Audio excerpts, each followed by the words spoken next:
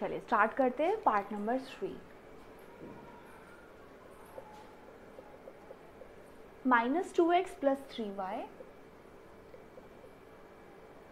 plus two z two z three y plus two z and whole square तो यहाँ भी हमें वही ध्यान रखना है कि अगर माइनस का साइन है तो माइनस का साइन ज़रूर कैरी करना है। Right right? फॉर्मूला क्या कहता है? अगर हमारे पास a plus B plus C whole के ऊपर स्क्वायर है तो हमें कैसे खोलना होगा? A square plus B square plus two A B C square नहीं लिखा C C square plus two A B plus two B C and plus two C A ये हमारा फॉर्मूला है. Let me change the marker once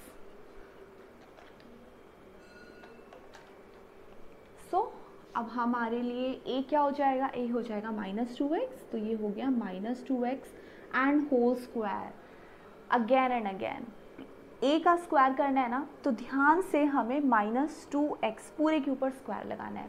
plus B square का मतलब हुआ three Y और इस पूरे के ऊपर स्क्वायर प्लस सी स्क्वायर यानी कि हमें करना पड़ेगा टू जेड पूरे के ऊपर स्क्वायर टू जेड एंड ऐसे और बस यही छोटी सी एक मिस्टेक है, जिसकी वजह से हमारा पूरा क्वेश्चन गलत हो जाता है। हम भूल जाते हैं कि ये जो स्क्वायर लगेगा, ये पूरे सी के ऊपर लगेगा। सी के कंटेंट में जितना भी हमारे पास है, वो पूरा का पूरा स्क्वायर हो जाएगा। प्लस टू ए बी का मतलब हुआ टू को। किस किस से मल्टीप्लाई करना है? ए ए है हमारा minus two x right and B कितना है? थ्री वाई है।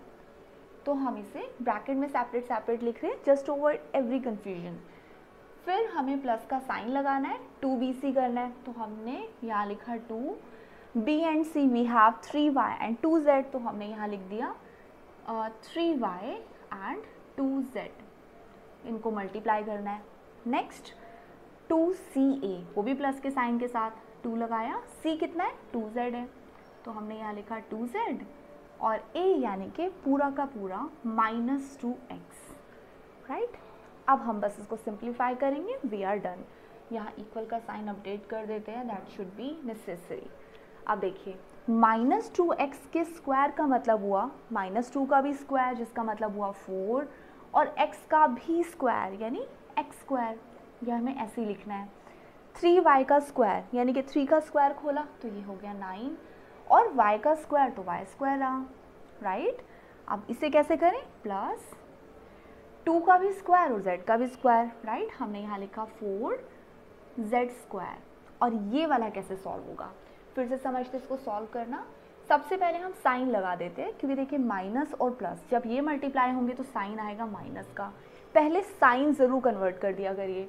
उसके बाद हम जितने भी इनके कॉफिशेंट हैं, उनको मल्टीप्लाई कर लेंगे। टू टू ज़ा फोर फोर, थ्री ज़ा ट्वेल्व। ट्वेल्व हो गया।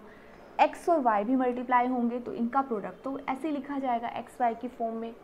ये प्रोडक्ट हमने यहाँ पर मेंशन कर दिया।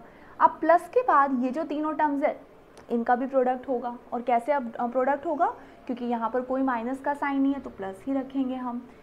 टू थ्री और टू ये तीनों मल्टीप्लाई होंगे। यानी कि टू थ्री ज़ा सिक्स सिक्स टू ज़ा ट्वेल्व तो ये हो गया ट्वेल्व अब किसका मल्टीप्लिकेशन रह गया? सिर्फ़ y और z का प्रोडक्ट रह गया। ये भी अपडेट कर देते हैं। Y, z अब रह जाती है हमारी ये तीन terms right and this is the last thing तो इसको मल्टीप्लाई करने के लिए पहले हम साइन अपडेट कर देंगे। यहाँ माइनस का साइन नज़र आ रहा है ना? और बाहर प्लस का साइन है तो उसका मतलब हमारा पूरा कंटेंट नेगेटिव रहेगा। और अब किस किस को मल्टीप्लाई करें? पहले हम इनके कॉफिशियन मल्टीप्लाई कर देते हैं। टू टू ज़ा फोर फोर टू ज़ा एट ये हो गया एट z और x के लिए हम लिखेंगे कुछ इस तरह से, z x राइट तो ऐसे हमें इन सबको मल्टीप्लाई करने का जो तरीका है ना, वो ध्यान रखना है। बाकी और कुछ नहीं है। ये सब आपने किया हुआ है बच्चा। एट्थ में हमने सारी मल्टीप्लिकेशन सीखी है, ऐसे बहुत सारे क्वेश्चन किए हैं। सिर्फ़ इतना सा है कि हमने यहाँ पर आइडेंटिटी सीखी है और आइडेंटिटी के थ्रू हम मल्टीप्लाई कर रहे हैं। इवन आपने जब एट्थ में किए ना ये सारे क्वेश्चंस तो वहाँ पर भी कुछ आइडेंटिटीज़ थी जो हमने की है चैप्टर नाइन के अंदर, है ना?